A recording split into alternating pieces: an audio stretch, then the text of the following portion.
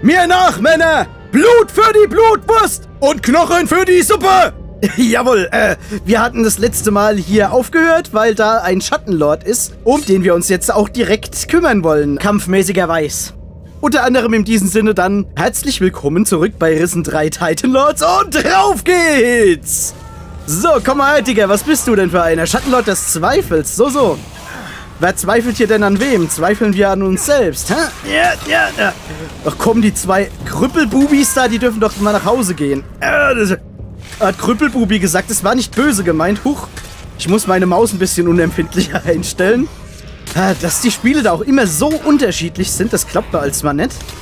Weil bei manchen, da muss man es hochdrehen ohne Ende, die Mausempfindlichkeiten. Bei anderen läuft das alles einwandfrei. Fast schon direkt kompatibel, als hätten sie sich abgesprochen.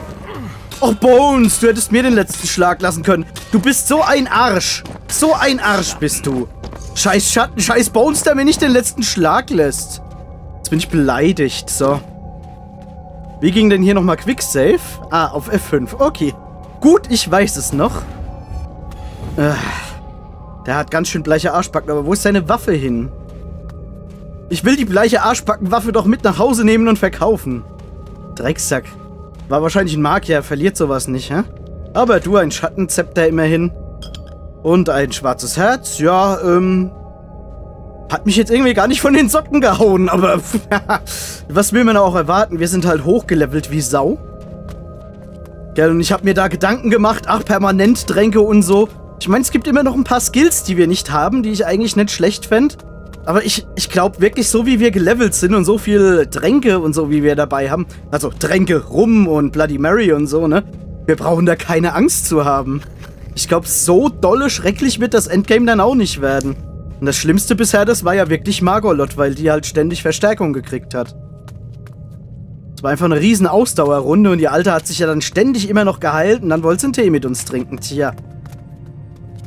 Ich dachte erstmal, das wäre ein Secret hier, aber ist es wohl nicht. Hm.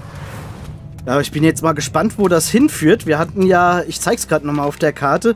Hier war ja so ein Schattenlager und das haben wir ja jetzt eigentlich komplett ausgeräumt. Da sammeln wir jetzt eigentlich nur noch die Überreste ein, beziehungsweise gehen hier durch. Ich sehe zwei Schattengule und sonst... Ah, nur das, was man auch auf einer Deponie erwarten würde. Ja, kommt er hier hoch? Der kommt hier hoch, wow.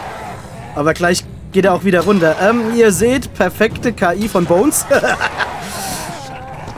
naja, da legst du die nieder, ne? Sveneborn. Ja, ähm, ich will heute noch etwas Wurst dürren. Und wo kriegt man sie her? Richtig. Man zieht sie einem Ghoul aus dem Gedärm. Leckere Gedärmwurst. Dreimal durch den Fleischwolf gedreht und im Naturdarm.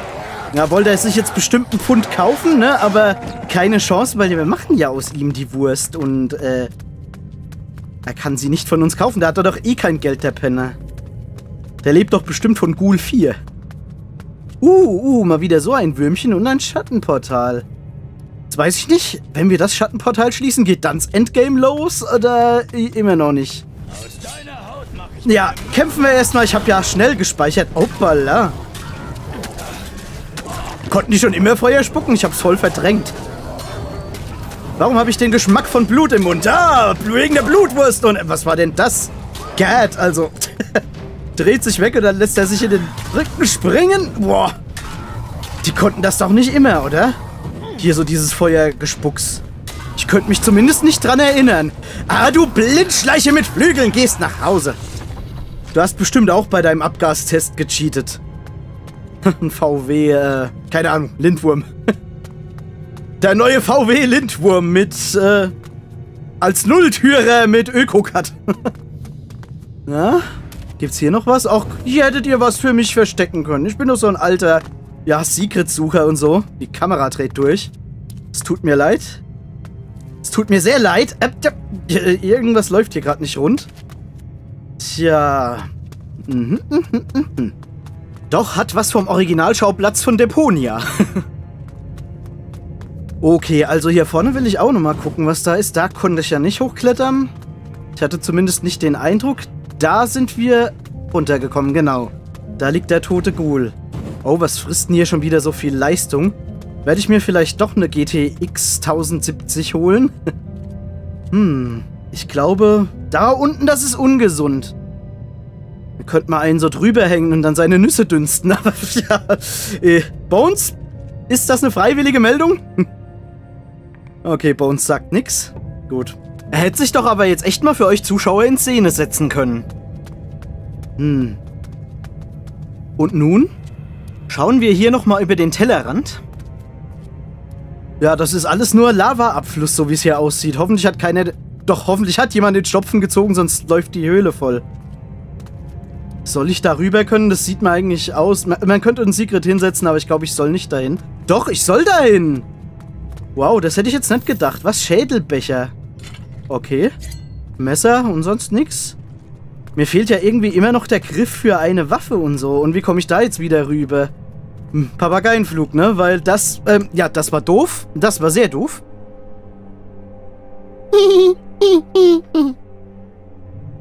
So, ja, ich glaube, ohne Papageienflug geht das nicht. Gut, ich bleib hier. Du bist ein alter Depp, Bones. Komm doch mit, immer meinem Bürzel nach. Meinem wunderschönen blauen Papageienbürzel. Ja, aber nicht wieder den Bombenabwurf-Joke, den hatten wir schon. Bones? Bones? Kommst du? Schneller, schneller, schneller! Jawohl. Bones hat es geschafft. Okay, also da gab es ja nichts. Oh, puh, da würde ich jetzt fast gerne nochmal speichern, bevor wir das zerstören. Können wir es zerstören? Ja, vielleicht kommt ja nochmal was raus. Hm. Äh, so. Haben wir denn noch andere Aufgaben auf Kalador übrig? Die Leuchtfeuer. Ja, das sollten wir am Drake sagen, aber das war's dann schon. Dann haben wir es doch bald, ne? Ja, Geisterritual. Äh, haben wir doch eigentlich alles gemacht, ne? Die Aufzeichnungen haben wir gefunden, daran erinnere ich mich. Das war das letzte Mal. Und Eldrick wird uns ja eh helfen. Und Allianz mit der Inquisition. Ja, keine Ahnung, was mit Sebastiano ist. Vielleicht taucht er auf, wenn wir hier dann soweit fertig sind. Also ich glaube, wir nähern uns wirklich jetzt dem Endgame. Das könnte heute die letzte Aufnahmesitzung sein. Nun, frohen Mutes zerstören wir das Portal. Die Kraft Jesus Christi bezwingt dich. Ach, was erzähle ich denn für ein Blödsinn? Die Kraft des Joghurts bezwingt dich. Wir es endlich geschafft, alle Christen Da, da, Wenn wir noch da. eins übersehen haben, wüsste ich nicht wo. Das hört sich gut an. Gut, konzentrieren wir uns jetzt ganz auf unsere restlichen Aufgaben. Ist ja nicht so, als hätten wir nichts mehr zu tun. Wird es nicht mal wieder Ähm. Zeit, deine Crew zu inspizieren? Okay. Ja, machen wir gleich. Ich will hier aber jetzt nochmal gucken. Hm, Ja, das sieht soweit in Ordnung aus. Ja, gäbe es dann hier überhaupt noch was zu tun? Hier in der Ecke waren wir ja durch, ne? Und da hinten, das ist ja alt. Also hier... Ich würde sagen, dann können wir dahin zurück teleportieren. Und können mal mit den Dämonenjägern sprechen. Hoffentlich steht Drake da irgendwo dabei, dass wir auch das Quest mit ihm erledigen können. War das ein Stück Lavaflocken, das da hergeflogen ist oder was? Oder sollen das doch Motten sein oder so? Ich weiß es nicht. Die Dämonenjäger, die warten doch hier, ne? Jawohl. Jetzt gucken wir, ist da ein Drake dabei? Da ist Mason, Porter, Eldrick, Winter, Cyril, Fan. Aber kein Drake. Muss ich dann doch nochmal zurück hier äh, in die Zitadelle? Ja, tatsächlich. Da wird er noch angezeigt. Okay. Weil wir machen das ja schön nach Reihenfolge. Wir sind ja ganz, ganz liebe, saubere Jungs. Wir haben ja gar nichts auf dem Kerbholz. Hey Henrik, pass mal auf, wie du hier so rumfuchtelst. Du könntest aus Versehen jemand beschneiden oder Schlimmeres. Hm, Lagerfeuer, Lagerfeuer. Ah, da ist er. Hey Drake! Ich habe das grüne Feuer im Leuchtturm entzündet. Es hat ganz gut gebrutzelbumst. Ich habe das Ah, grüne Feuer ah. im Leuchtturm angezündet. Sehr gut. Immer dieser Bones. Du hast mir einen großen Gefallen getan. Was möchtest du als Belohnung? Ähm, warum hast du dieselbe Stimme wie Bozo? Aber nicht dieselbe Haarpracht, das sehe ich doch genau. Tja, Silberzunge, aber 120 haben wir, glaube ich, nicht, ne? Ich bin noch nicht gut Nee, komm, dann äh, geht aufs Haus, weil wegen Menschlichkeit Geht und so. Haus. Wirklich? Du hast einen sehr edlen Geist. Wahrscheinlich ist die Erfahrung, die du auf dieser Reise gewonnen hast, mehr wert als alles Gold der Welt. Danke dir vielmals. Der Weg ist das Ziel. Ach, Bones, lass doch diese Scheiße. Ah. Die hier, das sieht so aus wie so Metastasen, so kleine. Naja, okay, was kannst du uns beibringen? Was kannst du mir beibringen? Was möchtest du wissen? Ich müsste ja noch einmal eine letzte Runde machen und alles lernen, was halt geht und so. Hm. So gut bin ich auch nicht. Ja, das haben wir nämlich noch nicht gesteigert. Armbrüste, meisten Meistermagier, Kampfmagier. Ja, Magie benutze ich ja so gut wie gar nicht. Medikus. Das könnte natürlich gehen. Ich bin noch nicht, Nicht? gut genug. So gut Okay, das auch auch nicht. Ja, okay, okay, gut. Gut, gut, gut, gut, gut. Ja, ich würde gern eigentlich noch mal ein bisschen Ruhmpunkte irgendwie farmen, damit wir alles noch mal ein bisschen höher bringen könnten. Okay, Leute, ich sag euch, was wir machen. Ich speichere hier noch mal zwischen und dann geister ich noch mal allein ein bisschen umher, guck, ob ich noch ein paar Monster finde, damit ich noch ein bisschen Ruhm einheimsen kann. Weil ich habe wirklich die Befürchtung, dass wenn wir jetzt mit Eldrick sprechen, dass sich die Sache dann hat. Wenn ich zwischendurch noch irgendwas Interessantes finden sollte, lasse ich euch daran natürlich teilhaben und schneide das auch wieder ins Video mit rein. Nehme das dann also auch wieder auf. Und wenn nicht, sehen wir uns wieder hier beziehungsweise bei Eldrick. Also dann, bis gleich. So Leute, ich bin jetzt hier nochmal auf Taranis. Ich war schon vorher auf ein paar Inseln, habe sogar noch ein bisschen Ruhm abgreifen können, wie ihr hier vielleicht seht. Also wir nähern uns 20.000. Und dann habe ich hier diese Fußspuren gesehen. Was ist das? Ach, ein Schneckenhaus. Und die führen hier hoch und da oben war ich scheinbar noch nicht. Deswegen würde ich sagen, das nehme ich jetzt gerade nochmal schnell mit euch zusammen auf. Da ist eine Ente. Rohes Fleisch. Käse. Eine Truhe. Da wird doch nicht für so eine Waffe ein Teil drin sein? Nee, war ja auch gar nicht abgeschlossen. Da kann das ja nicht sein. Aber wessen Lager ist das jetzt hier? Ich meine, hier ist ein Schädel. Vielleicht hat er ja schon das Zeitliche gesegnet. Dann kämen wir etwas zu spät, aber es wundert mich, dass wir da vorbeigerannt sind. Ja, und was soll ich sagen? Auf der Nebelinsel zum Beispiel war gar nichts los. Auf Takarigua konnte ich doch einiges abfarmen. Also das war sehr ergiebig dort. Aha, hier geht's immer weiter. Ein Gürteltier. Ja, Gürteltiere und Schildkröten und so habe ich leben lassen. Auch die Truthähne. Da war ich mal weiterhin freundlich, aber Takarigua wirklich, da gab es einiges an Schattengefiechs und so. Und äh, auf der anderen Insel, wie hieß sie nochmal? Äh, jetzt muss ich hier nochmal drauf gucken. Äh, ich will auf die Weltkarte hier. Genau, äh. Ja, auf der Krabbenküste, an der Krabbenküste war auch nichts los. Auf der Insel der Diebe war nichts los, weil DLC-Content wahrscheinlich. Jetzt verbleiben halt noch ein paar weitere Inseln, die ich mir jetzt noch genauer angucken will, wie hier zum Beispiel. Ja, hier haben wir noch ein bisschen Gold, okay. Wir müssen ja immerhin unsere Level auch bezahlen können. Ein Wurfmesser. War's das jetzt schon hier oben? Ich hätte ja jetzt damit gerechnet, fast, dass wir noch jemanden treffen, mit dem wir irgendwie reden könnten. Aber nee, das war's wohl, Leute. Okay, äh, dann würde ich mal sagen, dann mache ich hier wieder Aufnahmestopp. Bis gleich. Ja, da hat er sich zu früh gefreut, der Osselpi. Ich bin noch gar nicht weit gelaufen, also ihr kennt die Gegend vielleicht noch. Und da unten äh, in der Schlucht würde ich es fast nennen. Aua, äh, da liegt noch ein Toter und sein Gold. Also das finde ich doch recht praktisch, dass ich das jetzt noch gesehen habe. Das war eigentlich Zufall. Weil ich habe da oben gesehen, da laufen zwei Gürteltiere rum. Da habe ich die Kamera gedreht. Und dann sehe ich hier unten, ne? Da liegt ja noch was. Also Gürteltier saves the day. Dankeschön, es wurde uns vom Himmel gesandt. Oder aus irgendeiner anderen Dimension, die möglichst erstrebenswert erscheint. Das Nirvana-Gürteltier. Uh, uh, uh, uh. Also, die ha haben sich hier drei irgendwie zu Tode gestürzt, hä? Ja, das kommt von dem ganzen Extremsport und so, ne? Und vom Base-Jumping. Dann hinterlässt man bestenfalls Krater. Tja, was ihr Pech ist, ist mein Glück, ne? Okay, aber ich sehe sonst keine Viecher da rumlurchen. Bones, geht's noch? Dankeschön. Ja, also der ganze Strand scheint auch leer zu sein. Von daher wird diese kleine Insel nichts mehr bieten. Ich guck mal noch ein bisschen hier über die Hauptinsel. Und ansonsten, ihr wisst ja, wir sehen uns, wenn was Wichtiges passiert, ne? Also bis dann. Ciao. Hallo, liebe Freunde, willkommen zurück wieder einmal. Tja, mir ist eben aufgefallen, als ich zufällig auf das Bett geklickt habe, es scheint uns wohl eine Vision oder ein Traum zu erwarten. Ich würde einfach mal sagen, das schauen wir uns an. Ja, der Gnome, der hat so geklatscht, weil ich eine Pfeife geklaut habe, die da noch lag.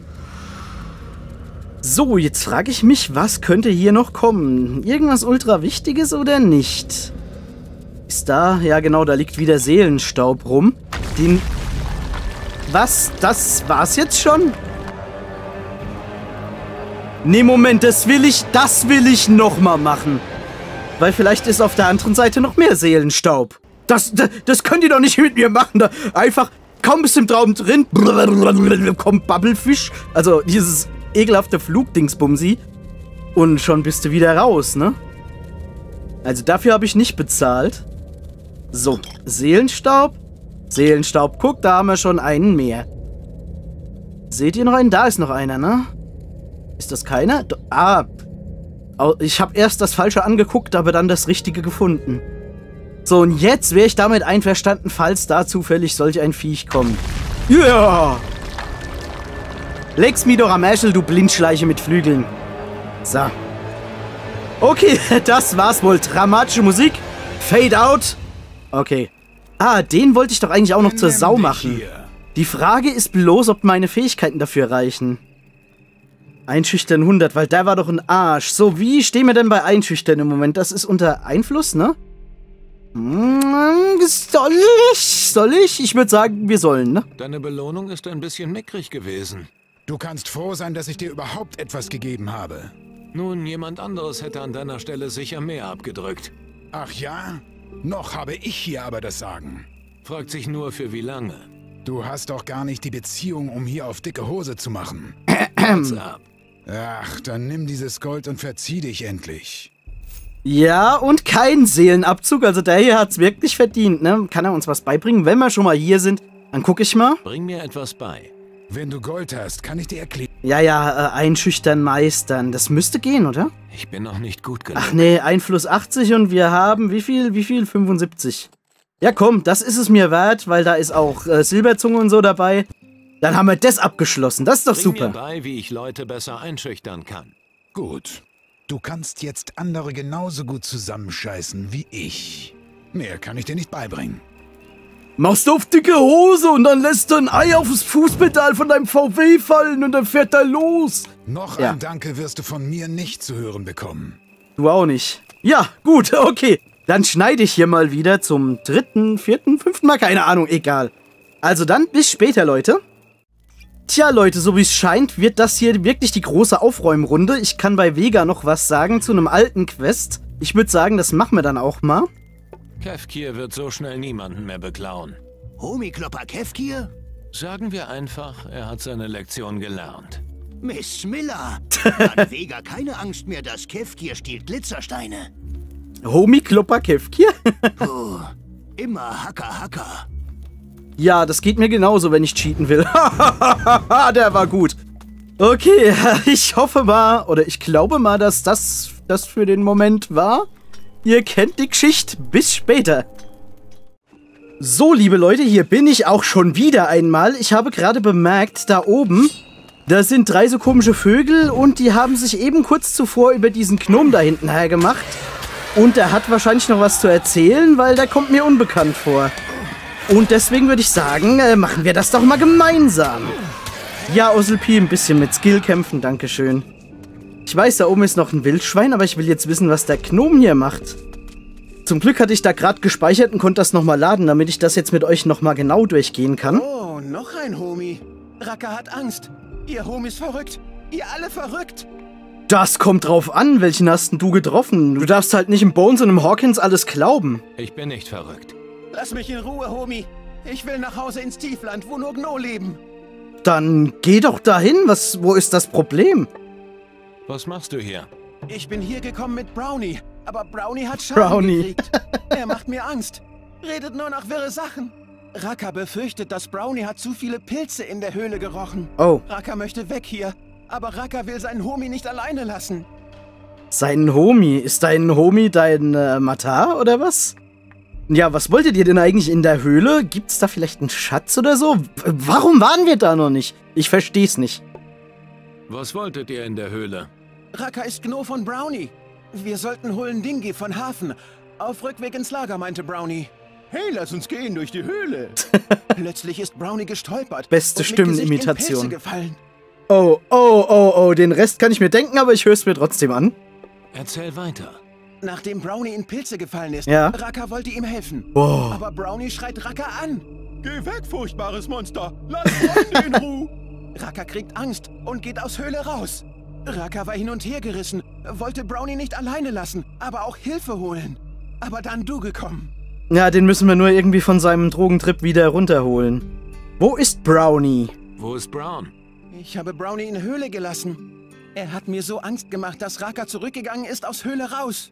Verstehe. Ich werde mal mit Brown reden. Ja, natürlich. Also ich bin mal gespannt. Wenn der immer noch auf dem Trip ist, hm, dann brauchen wir vielleicht viel Silberzunge. Mal gucken, ob das was wird. Tja, aber jetzt muss wohl leider Brownie mein Cliffhanger sein. Den werden wir uns nämlich erst das nächste Mal angucken. Ich bin schon gespannt, wenn der in einen Haufen Pilze gefallen ist und sich dann sein Wesen ultra verändert hat. Dann gehe ich mal von einem heftigen, heftigen Drogentrip aus. Vielleicht was Schlimmeres, aber ich denke erst mal an Drogen. Ja, und dann wird sich auch zeigen, ob das vielleicht eine längere Sache ist. Vielleicht geht's da ja noch tiefer in den Berg hinein, da lasse ich mich überraschen. Wenn nicht, kriegt ihr wieder einen dieser wunderbaren Schnitte geliefert, die ihr in dieser Folge öfter schon gesehen habt. Und ich bin mir auch noch sicher, dass irgendwo Sebastiano auftauchen wird. Das ist vielleicht auch in der nächsten Folge zu sehen. Hoffen wir es mal, ne? Danke fürs Reinschauen, ich hoffe, euch geht's gut. Macht's besser, bis dann. Ja, man muss doch macht's besser sagen, weil nochmal macht's gut hinter, ich hoffe, euch geht's gut, ist doof, ne?